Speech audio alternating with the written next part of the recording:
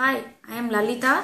My age is 41 and now this is 2013. I had to, uh, hip replacement in 2006 November uh, done by Dr. Venkatachalam. At the beginning I had a pain over my knees but uh, I couldn't walk without pain. So I have uh, undergone many tests and finally they found out that it was avascular necrosis and uh, with the reports I came and met Dr. Venkatachalam and he suggested me to undergo a hip replacement. Uh, that was done in 2006 November and uh, it is 2013 now and I don't have any pain at all now.